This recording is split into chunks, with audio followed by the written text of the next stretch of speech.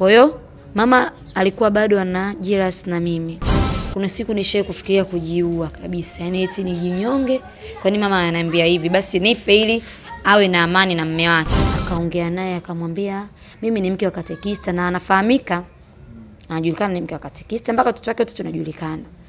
Eh, nimekuja kuleta kesi. Anamwambia sasa yule kiongozi, kesi gani? Huyu katekista wenu hapa kanisani mnavyomwamini, sio mnamuona mtu lakini sio mtu, ni mnyama, ni mkatili. Akamwambia huyu katekista wenu anatembea na mwanangu mimi, mtoto niliyemzaa mimi mwenyewe anatembea naye, yaani mtoto wake mwenyewe. Kwa nini anifanyia hivyo?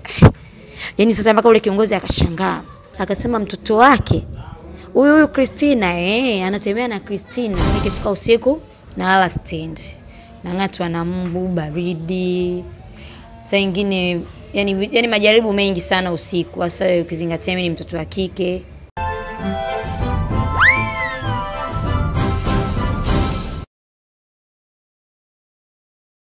Asante kwa kuichagua na kuendelea kuifuatilia Tiki TV, mwendelezo wa habari, matukio pamoja na mikasa. Leo nimekutana na madam ambaye ni takribani miaka mitano hivi sasa hajarudi nyumbani kwao. Sababu ni tuhuma za kuwa alikuwa na mahusiano ya kimapenzi na baba yake mzazi. Sasa yapo mengi yaliyokuwa katikati na kusababisha hayo kufikia katika hali hiyo. Leo tunakwenda kumsikia yeye mwenyewe, ila kabla ya kusikia ni kukumbushe tu, kila sekunde moja ina thamani kubwa zaidi katika maisha. Hakuna muda wa kuupoteza, bofya subscribe kisha alama ya kengele, tuwe familia moja. Tiki TV kiakili zaidi. Mi naitwa Kelvin Shayo. Kwa majina anaitwa Christina Jafet, ila mi ni mzaliwa wa Dodoma. Mm, Kwetu tumezaliwa wawili, mimi na mdogo wangu wa kiume anaitwa Amani. Mm, yaani mimi tu kwenye makuzi yangu nilivyozaliwa nimejikuta tu pale tuko na baba na mama tupo kwetu, lakini hapo kwetu kuna bibi pia kuna babu, kwa sababu babangu alijenga kwao kwenye uwanja wa nyumbani kwao. Mm. Babangu ametolea kwenye malezi ya Kikristo, mimi na mdogo wangu, na mwenyewe yani ni mtu wa dini sana. Pia babangu anajishughulisha na ujenzi. Kwa hiyo kutokana na kazi yake hiyo akapambana, akatusomesha. Mi nimesoma fungu la kwanza, yani elimu yangu ya msingi yote nimemaliza mpaka sekondari, kwa hivyo hivyo vibarua. Mm. Kutokana na baba yangu alikuwa ni mtu wa dini sana, yani hakuna siku ambayo alikosa kanisani, itokee kikao, sijui kuna dharura, hata hiyo ni usiku wa manane, baba yangu lazima afike. Kwa hiyo kutokana na hali ile alionyesha kujitoa sana kwa kanisa kama kanisa likamjadili likaona anafaa ngoja tuongeze kitu juu yake. Kwa maana hiyo, walipofikia wakaona baba yangu akamsomeshe ili awe aende kuwa katekista. Kipindi hicho niko form 3, baba yangu anaondoka anaenda kusoma kusomia ukatekista. Kwa maana hiyo, vile yeye alivyoondoka, sisi huku nyuma tukawa tunalewa na kanisa. E, kwa hiyo kanisa kuhusu sisi kula yetu, vaa yetu, tunalalaje, yani tunaishije, yote ikawa nijua kanisa, kwa sababu baba hayupo. Kwa hatuna tena mtu wa kwenda kututafutia chochote kitu, na mama niisha kwambia ni mtu wa nyumbani. E, kwa baba alikuwa ana nafasi kubwa sana, kwa kanisa ikabeba nafasi yake. mm-hmm. Basi baba yangu akasoma, ilipofika muda wa kurudi alikaa kama mwaka mmoja Mm, akamaliza masomo yake akarudi. Kwa hiyo alivyorudi hakuanza tena na kazi zake za ujenzi, ila kanisa lilimwajiri kama katekista. Kwa hiyo ile hela ambayo tuko tunapata sisi kutoka kanisani tunayoletewa, akawa anapewa baba mwenyewe, kwa sababu alikuwa ameajiriwa. Kwa hiyo akaingiziwa mwenyewe baba, kwa hiyo baba ndo akawa anaturisha anaturisha Kweli maisha yalibadilika. Mhm. Basi tukawa tunaishi, lakini baba hakuacha kazi yake ya ujenzi. Ikitokea kuna kazi, anaenda anajenga. Kwa maana hiyo, baba hakuwa mtu wa nyumbani sana kipindi cha mchana. Mhm. Kwa baba alikuwa yuko huko na alikuwa kikweli, kipato kilikuwa kizuri, yani tulikuwa tuna uwezo wa kula asubuhi, mchana na jioni, kitu ambacho kinaeleweka. Ila sasa mama yangu akawa ameingia kwenye vikundi vikundi hivi vya mikopo vya wanawake. Kwa sasa ile hela ya matumizi alikuwa anachiwa na baba ikawa ndogo, akashindwa kuibalance kutulisha sisi na kulipa madeni yake. Kwa hiyo sisi tukawa tukitoka shule tunakuta chakula hamna, mama hapiki. Sana sana atakwambia labda kunywa uji, au kama bado hajaupika atakwambia koroga uji unywe na mdogo wako nao mwachie. Kwa ile hali ikawa natutesa, na unajua njaa ya shule, mtu umetoka shule una njaa, unataka kula, alafu unakutana na uji au ndo unaambiwa upike, yani nasikia yani unatamani ulie.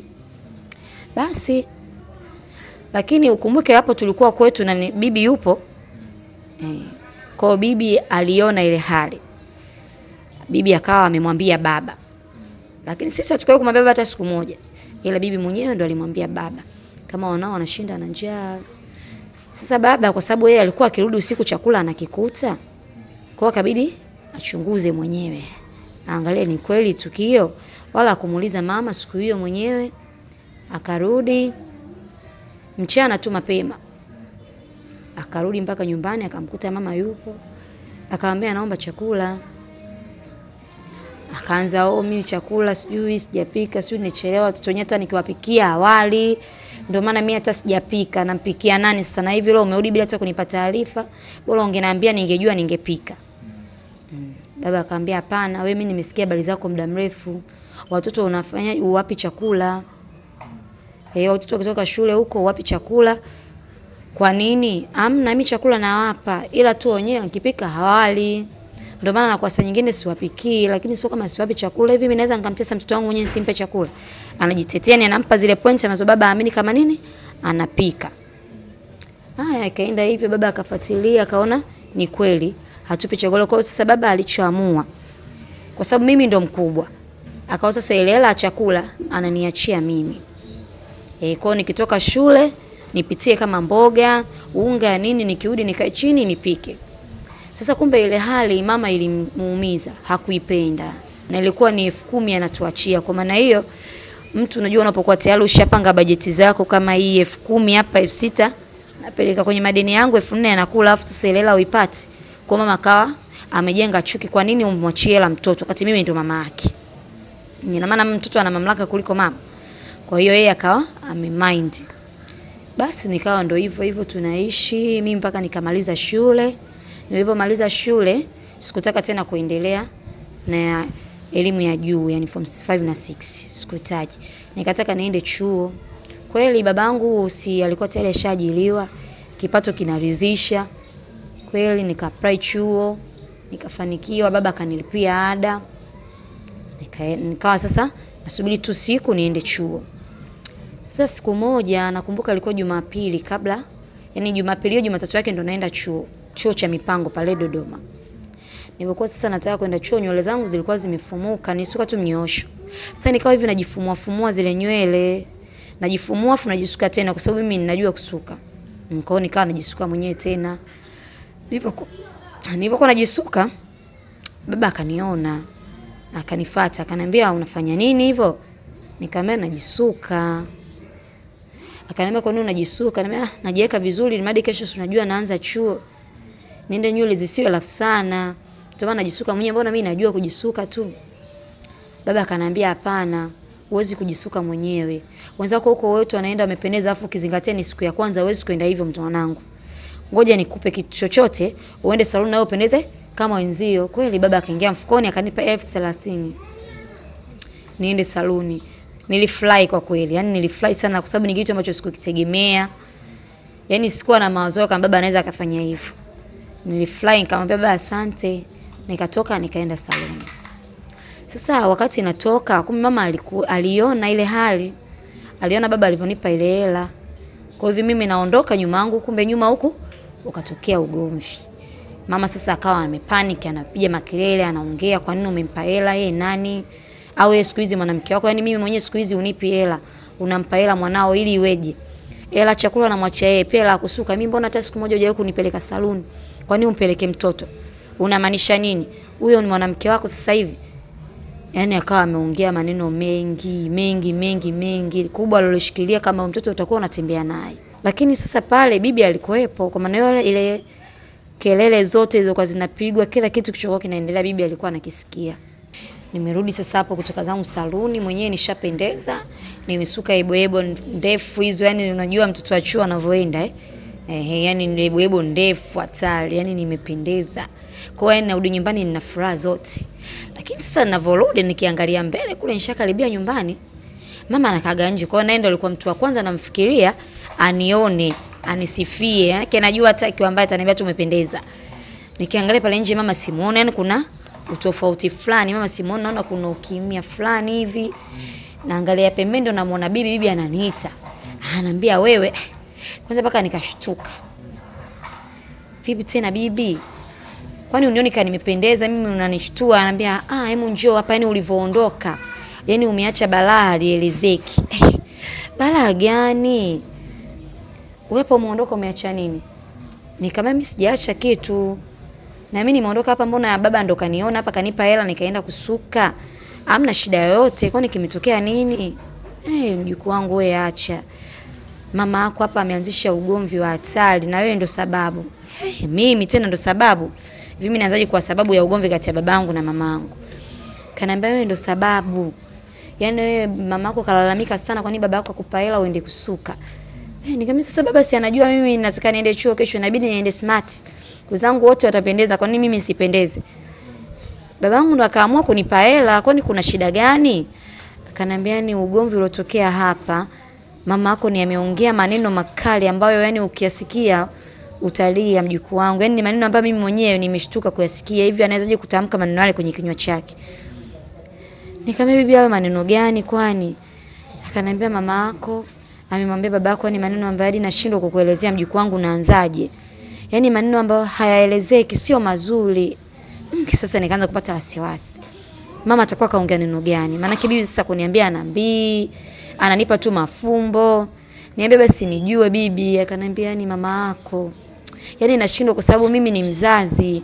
Kwa yule amewezaje kuongea maneno kama yale? Basi bibi akanambia, nikamwambia bibi, kwanza niambie, maanake mimi sasa unanichanganya. Niambie nijue na mimi unaniweka gizani. Akaniambia mama yako amemwambia baba yako utakuwa unatembea naye. Kwa nini akupe hela wewe? Maanake kishaanza ameanza kukupa hela kula. Sasa hivi tena anakupa hela kusuka. Anamaanisha nini wewe mwanamke wake? Eh, nilishtuka. Nikasema bibi, mama anaweza kuongea maneno kama hayo? Akaniambia yeye mama yako ameongea. Ndio maana mimi nilishindwa hata kukuambia. Eh, si nilisikia uchungu, yani niliumia. Nikasema eh, mama anawezaje kuongea vitu kama hivi? Mimi nilikuwa ni sio babangu mpaka ananiambia maneno kama hayo. Nawezaje mimi kutembea na babangu? Kaniambia yeye ndio hivyo, mamako ameongea sana, amesema wewe utakuwa unatembea na babako.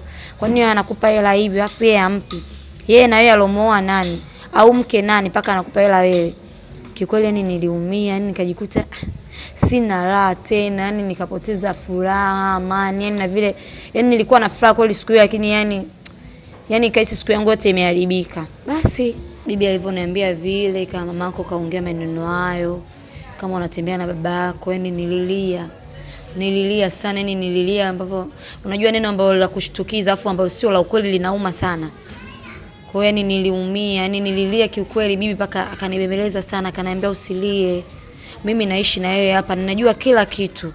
Kwa hiyo afu ni kitu ambacho sio cha ukweli, usilie mjukuu wangu, nami ukweli naujua. Kwa hiyo achana nayo, ni mapito tu hayo. Mm, nikamwambia bibi, hapana, lakini sio kwa neno kama hili sio neno zuri bibi, mimi sijalipenda. Hivi fikiria huko majirani wakiwa kama wamepita wamesikia mama kipindi anaongea ya maneno, mimi watanichukuliaje? Au mimi watanitizamaje? Sio neno zuri bibi. Akanambia hapana, mjukuu wangu, hamna hata mtu aliosikia. Nikamwambia sawa.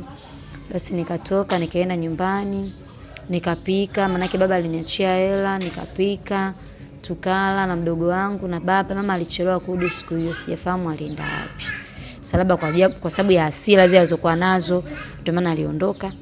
Basi asubuhi yake mimi nikaamka nikaenda chuo hivyo. Kwa hiyo mama alikuwa bado ana jealous na mimi, lakini mimi sikujua, kwa sababu yule ni mzazi wangu, mimi siwezi kum, kumchukia, yani siwezi kumwekea kitu chochote cha kipingamizi mm. Basi tukawa tunaishi hivyo. Sasa mama kutokana na ile hali sasa, baba anazidi kuniachia hela mimi, mimi naenda chuo, nimependeza, naambia baba sina hela kusuka, na chuo akukua mbali na nyumbani, kwa maana mimi sikutaka kwenda kupanga e, nikawa natoka nyumbani naenda chuo, natoka nyumbani naenda chuo. Kwa maana hiyo nikiwa kitu sina, baba bana nataka kitu fulani, baba ananipa, afu alikuwa ananipa on time.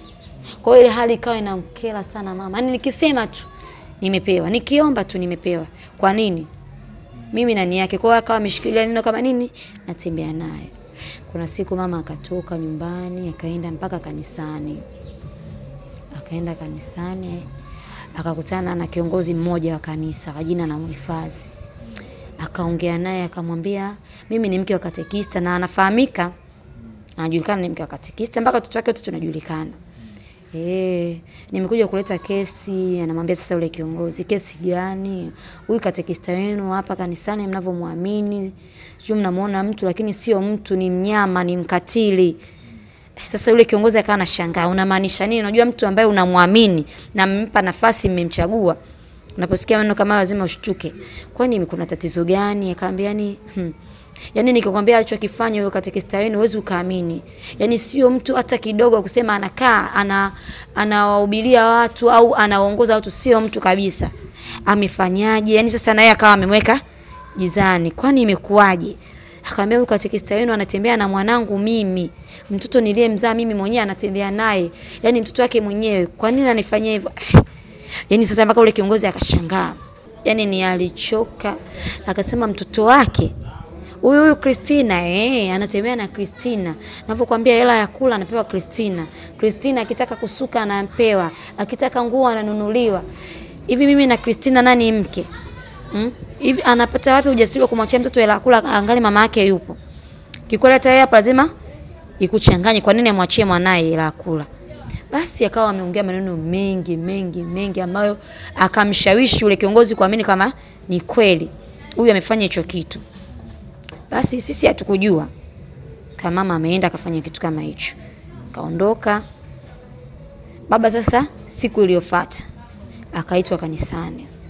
Alivyoitwa kanisani, wakaitwa wazee wa kanisa na viongozi wote wakubwa wakubwa, akamweka kikao. Sasa kutokana na kesi hii tulioletewa, kama unatemea na mtoto wako Kristina, hii imekuwaje na ina ukweli gani? Baba alijitetea sana alijitetea sana sana sana, yaani hawezi na sitoweza. Na kwa nini nifanye hivyo? Mimi naanzaje? Natembeaje na mtoto wangu? Hicho ni kitu ambacho sio cha kweli. Baba alijitetea, lakini sasa unajua ushawishi aliotoa mama ni mkubwa kuliko ambao baba anavyojitetea. Ukweli hauaminiki kama uongo e, yaani uongo unaaminika sana siku zote kuliko ukweli. Basi baba alijitetea alivyoweza kujitetea, lakini hakuaminika kwa sababu alifikiria mama hawezi kumdanganyia mtoto wake. Na kwa nini amdanganyie? Yani amsingizie mwanae atime na babake, ni kitu ambacho hakiwezekana. Ingekuwa ni mama akambo, ungesema inawezekana, lakini ni mama yangu kabisa. Kwa akaona hapa kutakuwa kuna something, wakaona mm -mm, wewe pumzika kwanza, ukatekista kwanza, pumzika. Wakumwambia kama tunakufukuza, akamwambia pumzika kwanza, lakini ndio njia ya kumtoa. Akamwambia pumzika kwanza kwanza mpaka ikesi ikae vizuri, kwa sababu hatuwezi kuwa na sifa kama hii afu kawa unaendelea kuwa katekista kwa sababu mpaka amefika kwetu, pengine kwengine sehemu nyingi ashafika. Kwa pumzika kwanza, tusichafue kanisa. Baba alikubali, akarudi nyumbani. Basi tukawa tunaishi hivyo hivyo, lakini sasa baba kule kashavuliwa tena uongozi, kwa akawa amebeza sana kwenye kazi zake hizi za ujenzi. Hiyo maisha yalienda. Sasa ikafika semesta ya pili, mimi inabidi nilipewe tena ada, niendelee na chuo. Ada tena hamna, baba kazi hana ujenzi wenyewe unajua hautokei kila siku, ni siku moja moja anatokea anajenga, yani kwa wiki anaweza kajenga mara mbili mara tatu. Kwa hiyo sasa hawezi kuitoa hiyo hela sime atulishe anipe mimi nauli au yani akalipia ada, ni kitu ambacho hakiwezekani, tofauti na kipindi kile ameajiliwa. Tunaishi hivyo hivyo, lakini ndani amani ikawa hamna vile vile, na mimi nikiangalia, mimi ndo chanzo, nikawa sipendi ile hali, inanitesa basi nikasoma hivyo hivyo kiugumu, nyumbani nako maneno, mama akiniona karusha neno, yani hivyo kukaa nyumbani amani hamna. Basi sasa hivyo nilivyoingia semester ya pili nikawa nasoma bila kulipa ada, kwa sababu chuo huwezi kufanya mtihani bila kulipia. E, kwa hiyo nikasoma nikasoma, tulifika sasa karibu na mitihani, inabidi nilipie ili nifanye mtihani. Lakini sasa hiyo ada ilikuwa hamna, kwa sababu baba kazi tena hana, mama kule kanisani ndo kashaenda kuharibu kazi ya baba, na baba tena uwezo kusema ananisomesha tena ulikuwa hamna. Mm. Basi nikashindwa kusoma tena, sikufanya mtihani, kwa maana hiyo chuo kikaishia pale pale. Kwa hiyo nilivyokuwa nasoma kote, juhudi zangu zote zikawa zimeishia pale nikaondoka. Kwa kweli sikuwa na furaha, yaani sikuwa na lata kidogo. Nikafikiria nifanye kitu gani, nyumbani nako ndo kelele kelele, mtindo mmoja. Mama ananiambia mimi ni mke mwenzie, kitu ambacho kinaniumiza mimi. Basi siku hiyo nikapata maamuzi, ngoja niende Dar es Salaam. Nikaja da nikafikia Ubungo. Nilipofika tu Ubungo, yani kwa sababu sikutaka mawasiliano na watu mtu yoyote wa nyumbani, sikutaka yani kuongea na mtu yoyote. Ile laini nilitoka nayo nyumbani nikaivunja nikasajili laini mpya, nikawa naendelea na mambo mengine.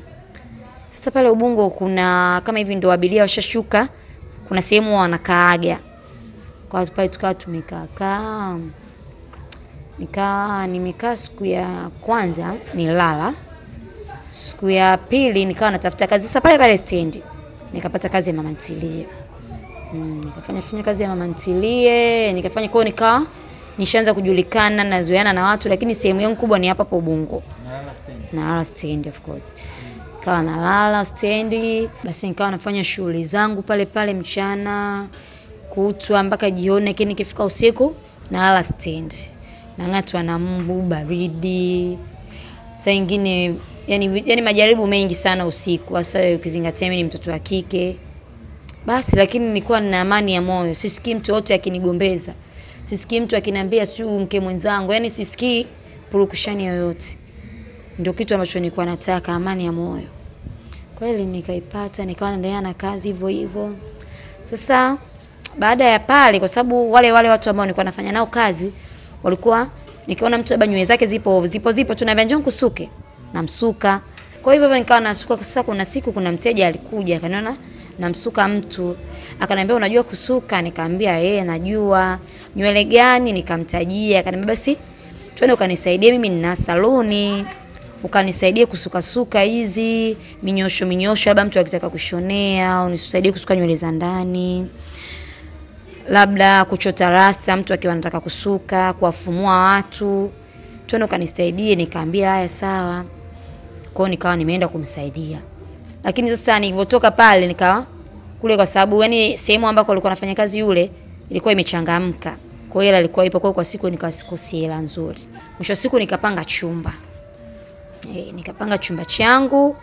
Nilianzia chumba cha bei rahisi, kwa sababu unajua unapoanza maisha uwezi kwa kurupuka ukaanza tu na chumba kikubwa. Nikaanza chumba cha bei rahisi, nikafanya maisha yangu, nikafanya maisha yangu, nikawa nafanya kazi kwa juhudi, lakini kuna siku nikawa nimkumbuka sana nyumbani, hasa baba yangu. Nilimkumbuka sana baba, jinsi gani alivyokuwa ananisaidia nisome, mwanae nipate kujitafutia maisha yangu mwenyewe.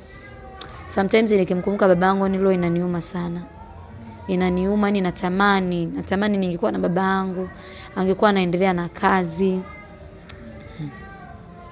Basi ndo hivyo, unajua kila kitu kimepangwa mm. Basi saa naambia, yani nafikiria ni baba angekuwepo kwa kazi yake angekuwa anaendelea nayo, pengine ningekuwa nishamaliza chuo, labda natafuta kazi, lakini sasa hivi niko kwenye kazi hizi. Basi naumia, maisha yanaendelea. Sasa kuna siku, kwa sababu nilipata simu kubwa, nikamtafuta, ninavyoingia Facebook sasa unaona na watu tofauti tofauti, nikamwona mtu ambaye nishae kuishi naye kule nyumbani, nikamtafuta nikachati naye nikamwambia nitumie namba yako messenger, akanitumia. Tukaanza sasa kuwasiliana, nikamwambia niangalizie nyumbani hapo wakoje, wanaendeleaje, wanaishije, kwa habari zao nyumbani nikawa nazipata, lakini leo ikawa inaniuma.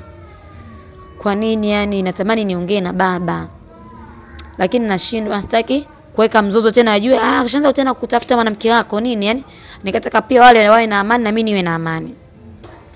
Basi siku hiyo sasa nikawa naongea na yule rafiki yangu wa kule, akaniambia hivi, unajua kama mamako hayupo nyumbani sasa hivi? Eh, nikashtuka. Nikamwambia kwa nini mama yangu hayuko nyumbani? Akaniambia mama yako hayuko nyumbani tangu uondoke, babako alimfukuzaga kwa sababu babako alimwambia akamtafute wewe, umeondoka kisa yeye. Eh, yani kaisi yani badala ya kujenga kumbe nimezidi kubomoa. Ni mama naye nyumbani kaondoka. Yani nikawa yani sina raha. Nikamwambia basi namba nitafutie namba ya baba. Basi akajitahidi huku na huku kuna huku akanitafutia namba ya baba. Nikampigia baba siku hiyo nilimpigia baba huko nalia ni nilikuwa na furaha pia nilikuwa na huzuni. Kwani mama kaondoka nikamwambia baba mi nipo mwanao mzima najishughulisha tu na shughuli za huku nisamee tu baba yangu kwa kuondoka basi baba naye aliumia kwa nini umeondoka mwanangu kwa nini hujaaga nikamwambia baba ni matukio yalikuwa yanaendelea pale mimi yaliniumiza ndio maana nikashindwa kuendelea kuwepo mm. Nikaniambia sawa, kwa hiyo sasa hivi unaishi wapi? Nikamwambia mimi niko Dar es Salaam. Eh, nikamwelezea ninapokaa, akaniambia basi mimi nitatafuta nauli nitakuja kukuona. Nikamwambia iko, nikawa nilijitahidi sana kuwasalimia.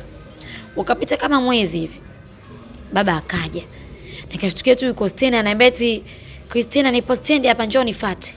Eh, nikashtuka baba, kweli uko stendi? Eh, njoo. Nikaenda stendi kweli, nikakutana na baba, yani sikuamini, nikamkumbatia na babangu alikuwa juu kama nina mtoto mm akutana na mimi pale, nilienda na mwanangu, akaniambia huyu nani? Nikamwambia huyu mjukuu wako. Akaniambia "Eh, Christina wana mtoto kweli, muda umeenda mwanangu. Kaambia yeye na mtoto baba, nishinda tu kukwambia kwenye simu kwa sababu yani niona imekaa vibaya. Kwa hiyo baba yake mtoto yupo? Nikamwambia yupo, naishi naye. Akaniambia haya. Nikaenda naye mpaka nyumbani ninapoishi, tukakaa tukaongea, nikamwomba msamaha babangu kwa yaliyotokea, naye kanajisamee. Nikamwambia mama sasa yuko wapi? Kana mama yako aliondoka alienda kwao, na mimi sikumfuatilia tena kwa sababu alikuwa yani tangu aondoke, na mimi nikawa sina la naye tena. Nikamwambia ondoka, kamtafute mwanangu eh.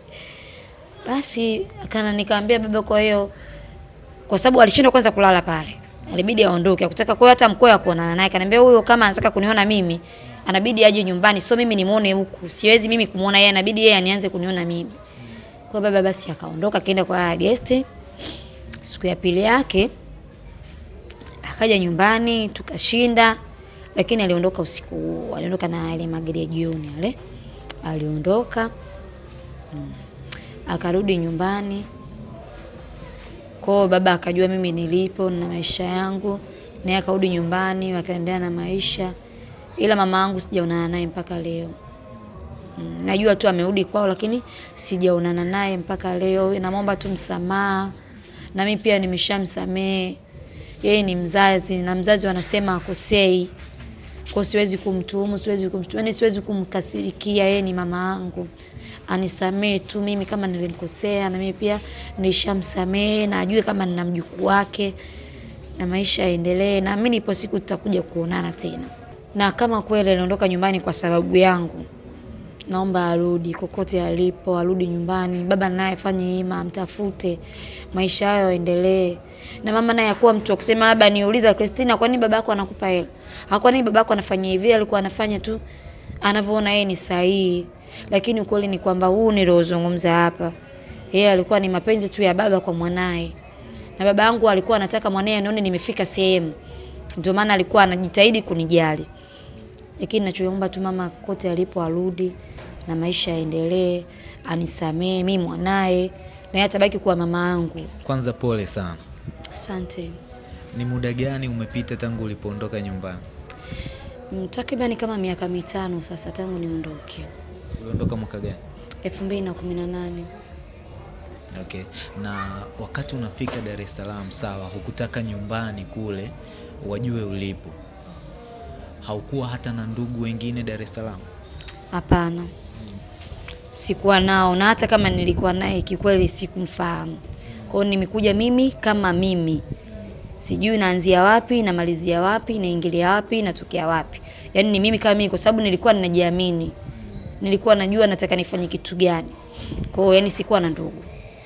na unadai kwamba kipindi ambacho upo pale Ubungo stendi ukiwa unalala katika lile eneo la abiria kusubiri kusafiri au wanapofika, ulikuwa unaishi maisha magumu.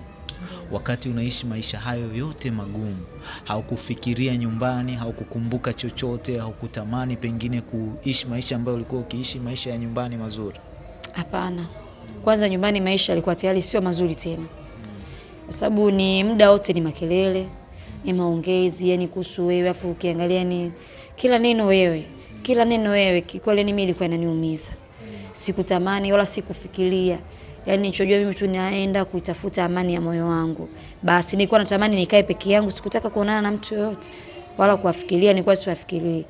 Nilikuwa nafikiria tu mimi hapa naishije mji huu, kwa sababu kwanza ni mgeni, sina ninayemjua, sijui naanzia wapi. Sema tu nilikuwa na vipesa kidogo ambavyo nilikuwa naweza kujikimu kwa siku mbili tatu ambazo nilikuwepo pale mpaka napata kazi mm. Ulizungumza pia kwa hisia sana juu ya changamoto ambazo ulikuwa ukizipata kipindi hicho ambacho unalala nje stendi pale, mm. ukihusianisha kwamba wewe ni mtoto wa kike. Changamoto zipi kubwa ambazo ulizipata na hautawahi kuzisahau? Kwanza kubwa, kwa sababu unajua stendi ulali peke yako, kwa hiyo watu pale mnakuwa ni wengi, kila mtu na akili yake. Unaweza ndo ukawa umejistiri sehemu, akaja mtu akakupiga, basi tu anapita kakupiga, uwezi ukamfanya chochote, utamwangalia tu. Hizi purukushani ya watu kutaka kubaka yani visa vingi tu, yani amna raha kwa kweli, mara mimbwa, yani hivyo. Uliponea purukushani ngapi au majaribio mangapi ya kutaka kubaka? Hmm, zaidi ya matatu. Mm. Kwa sababu kama hivi mtu kashakalili yule anaala pale, kwa hiyo ushafika muda wako pale, unaenda kulala na wao wanakupenya, na sio mmoja, kwa sababu mmoja unaweza ukajitahidi huku na huku, lakini sasa wanakuwa wawili. Imagine unakimbia vipi tayari wakisha kukamata kwa hiyo huwezi kukimbia. Nashukuru Mungu nilikuwa naanza kuwaona kabla wao hawajaniona, kwa hiyo nikishaona vile basi natoka naenda kwenye mchanganyiko wa watu, kwa sababu mjini watu hawalali pale stendi ndo kabisa hawalali. Natoka naenda nitasimama tena mpaka muda ambao nitaona hapa kuna amani ndo nitarudi. Kwa maana hiyo ulikuwa sio mtu wa kulala usingizi wa kuridhika kwamba umelala. E, kulikuwa mna kulala, yaani unalala macho e, uwezi ukapitiwa e, mjini upitiwe takuta kitu. Kwa hiyo nikawa siwezi kupitiwa, nalala nashtuka, nalala nashtuka mpaka kuna kucha. Ukatuambia pia uka, ukawa unafanya kazi ya mama ntilie ukiwa unaendelea kulala pale, baadaye ukaja kupata kazi ya kusuka baada ya kuanza majaribio ya kuwasuka mama ntilie, ukidai kwamba sometime wanajisahau. Yes, wakati umepitia hayo yote ukaja kufika hatua unawakumbuka wazazi, kipi hasa kilikuwa kinakufanya sasa ukumbuke zaidi nyumbani kwa kipindi hicho, hali ya kuwa unadai kwamba ulikuwa hutaki kukaa karibu na mtu yoyote, hutaki kumfikiria mtu yoyote? Naambiwa nyumbani ni nyumbani mm, hata kama polini ndo kwenu, ndo umezaliwa huko. Kwa hiyo nilikuwa nakumbuka kuna muda kama hivi nikiwa na mwanangu nasema ningekuwa kwetu, mwanangu angekuwa na bibi yake au mwanangu angekuwa na babu yake, na hivi ukizingatia babu yake alikuwa ananipenda, kwa mtoto wangu pia angempenda, naamini. Kwa hiyo nilikuwa natamani ile kuwaona, kuwa karibu nao, lakini ndo nikifikiria mazingira niliyoyaacha naona sio kweli, basi nabaki naumia tu hivyo. Sawa, likapita hilo, ukaja kutuambia, ukaja kumtafuta sasa baba. Ulimtafuta kwanza mtu wa nyumbani kule, huyu mtu alikuwa ni nani? Unasema ulikuwa ukiishi naye, na ulikuwa ukiishi naye kivipi?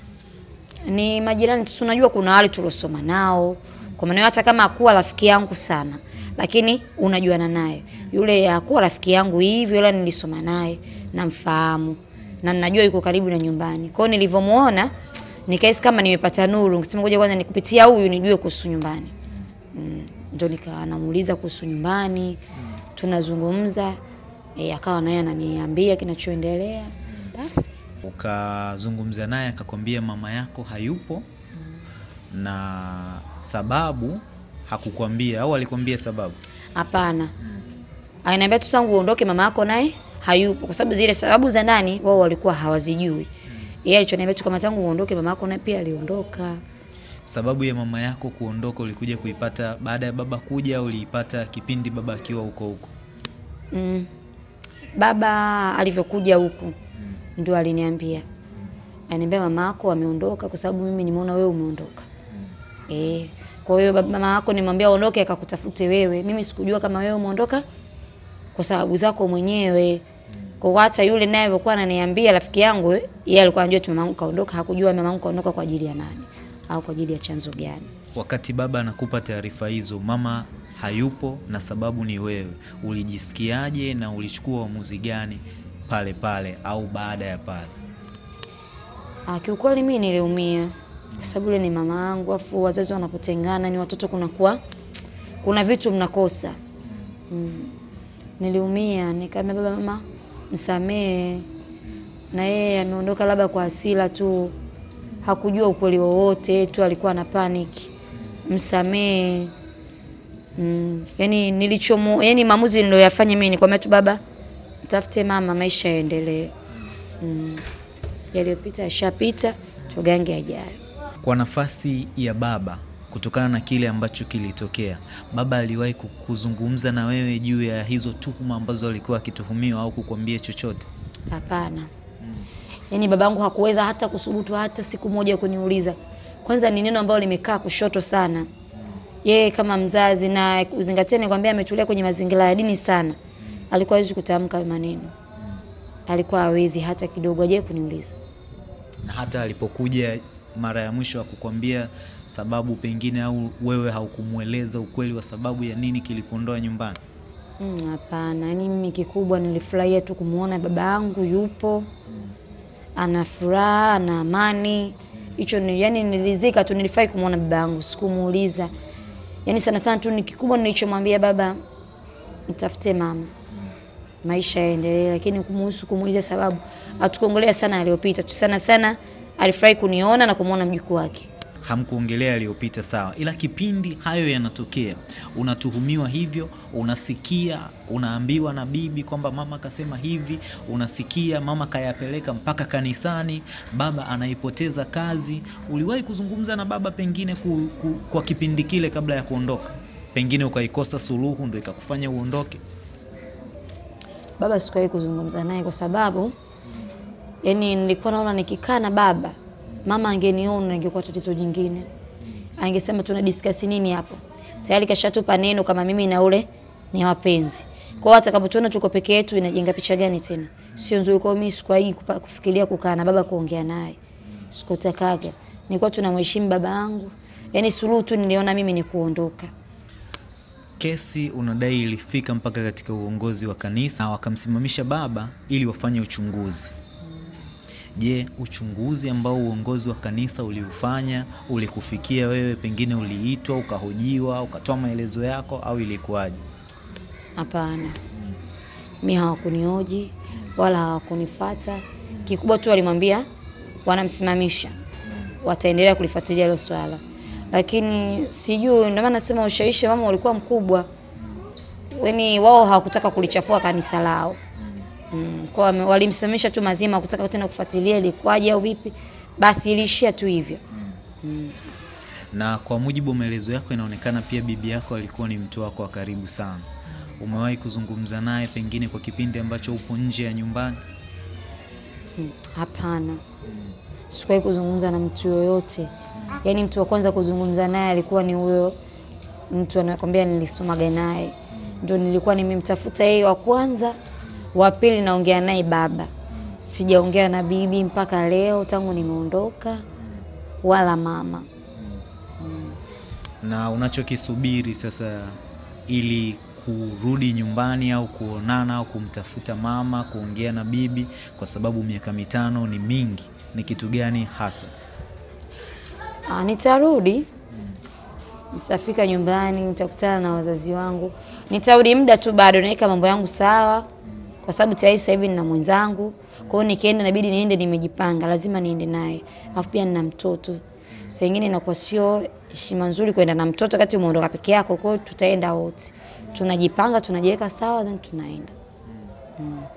Kutokana na maisha uliyoyapitia hadi leo hii, kwanza kabisa, samani kwa hili swali ambalo nakwenda kukuuliza, pengine litakupa machungu, ila naamini muda unao wa kufanya kile ambacho ulitamani kukifanya, kwa sababu ulikuwa umeshaanza maisha ya shule na kuwa na mwenza au kuwa na mtoto pia ukiwa unasoma chuo haizuii, kutegemea na umeshafikia hatua ya elimu ya chuo na hata umri wako hivi sasa. Ndoto zako kipindi ambacho unasoma ulikuwa unatamani kuja kuwa nayo? Mimi nilikuwa natamani sana kuwa mwalimu. Nilikuwa napenda sana kufundisha.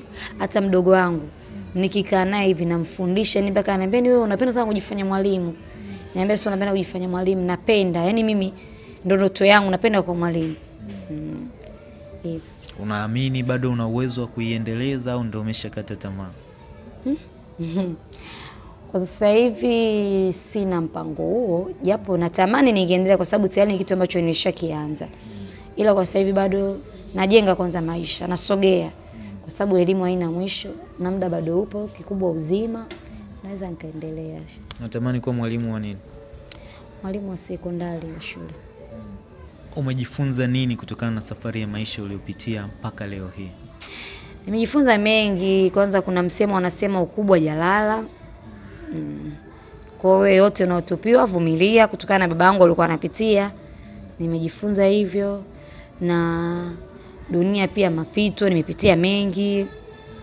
Mm. Dunia sio anasema tambala bovu hivyo, yani nimepitia mengi, yani nimejifunza jinsi ya kuishi na watu, najua shida naijua, raha naijua, njaa naijua, ni changamoto nyingi nazijua, jinsi ya kukabiliana nazo. Kitu kingine pia nilichojifunza, mikopo, madeni, wakina mama inabidi wapunguze mm, kwa sababu madeni yale ya mama yangu ndo alipelekea sisi tukafikia hapa, familia yetu ikawa imesambaratika, kila mtu yuko kwake, kwa sababu mama yale madeni alikuwa anamfanya hela sasa apati, anashindwa kulipa, ana paniki sasa, ajui anachokiongea, huyu mwanaye, huyu ni mume wake, akawa anaongea tu ili mradi, yani akawa hivyo tu, yote kutokana na madeni. Madeni sio mazuri, inabidi wapunguze, na kama haina ulazima usiwe nalo kabisa.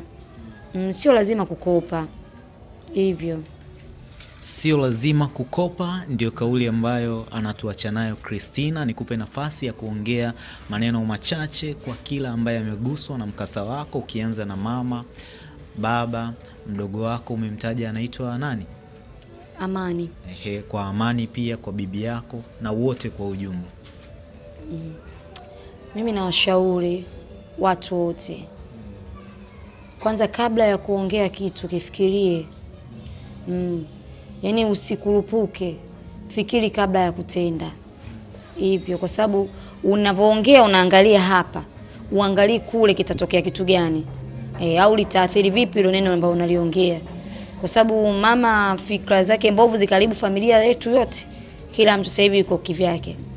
Mm, kwao inabidi tu uwe na subira kwanza, chunguza jambo, ongea kitu ambacho kina yani, unajua kuna neno jingine hata kuitamka unakuwa kinywa chako kina sita, na maneno pia sio mazuri, yale maneno sio mazuri kabisa, kwa sababu mama maneno yake mimi kwa anifanya yani na pata hasira, naumia, mpaka kuna siku nishe kufikiria kujiua kabisa, yani eti nijinyonge, kwani mama ananiambia hivi, basi nife ili awe na amani na mume wake. Haya, mimi ningechukua uamuzi wa kujiua, saizi angekuwa wapi? Angemlilia nani? Au angejisikiaje kwa alichokifanya? Na alikuwa na uhakika kabisa anachokiongea kina ukweli wowote, ila ni hivyo tu aliamua kufanya hivyo, yaani hasira zilimpelekea kuharibu. na wanasema hasira hasara mm. Hivyo yani maneno mengine sio mazuri, na yani ni maneno ni kitu ambacho sio kizuri, sio cha kumsikiliza mtu hata siku moja kwa sababu unakuta labda anayeambiwa naye kaambiwa. Mm, kwa hamna mwenye uhakika, amna anayejua. Kama mimi mama hakuwahi kunifumania, hakuwahi kuniona labda tumekaa vibaya na baba mpaka aseme ni natembea naye, lakini alijisikia kuongea hivyo. Kwa hiyo anaposikia mtu mwingine analishika kama lilivyo kweli bwana, na anayeongea mara ya pili anaongea zaidi aliyoongea mwanzo, yaani neno lake linakuwa lina chumvi, linakuwa kali kuliko. Mm, kwa hiyo ndio hivyo, tujitahidi kuchunga vinywa vyetu, tujifunze kunyamaza. Kwa baba, mama pamoja na Amani, Nawapenda sana, nawaombea kila siku, Mungu awape afya njema, awalinde hivyo, naendelee kutupa amani. Na babangu pia anisamehe kwa kupoteza kazi yake kwa ajili yangu, manake ule nahisi ni kama wito tu Mungu alimu, alimpa na akaipata. Naamini hata Mungu atafanya neema yake, kazi yake itarudi. nikushukuru sana. Asante sana. Ni kushukuru zaidi we mtazamaji na mfuatiliaji wa Tiki TV ambaye umekuwa nasi kuanzia mwanzo hadi hapa ambapo tunaelekea kutamatisha. Sina la ziada, mazuri tu ya bebe, mabaya tu ya bwage. Nikukumbushe tu, kila sekunde moja ina thamani kubwa zaidi katika maisha. Hakuna muda wa kuupoteza, bofya subscribe kisha alama ya kengele, tuwe familia moja. Tiki TV kiakili zaidi.